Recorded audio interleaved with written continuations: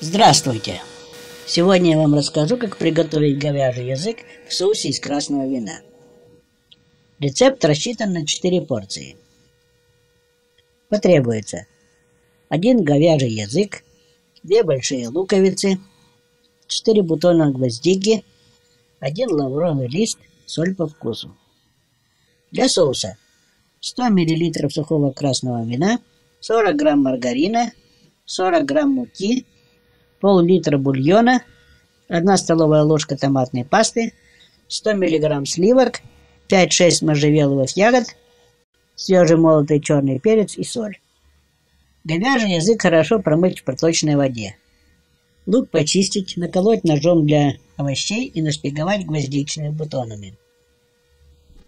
Довести до кипения 1 литр подсоленной воды. В кипящую воду положить язык, морковку, луковицу, лавровый лист – при необходимости добавить воды, чтобы язык был полностью ею покрыт.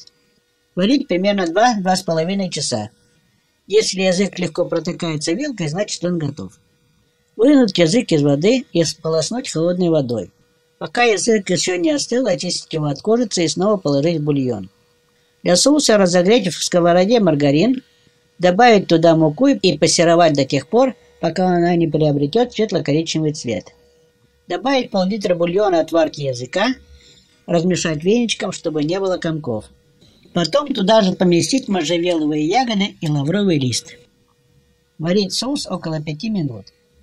Добавить при этом вино, томатную пасту и сливки.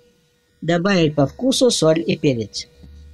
Вынуть язык из бульона, порезать на порционные куски, опустить в соус и потушить еще с полчаса.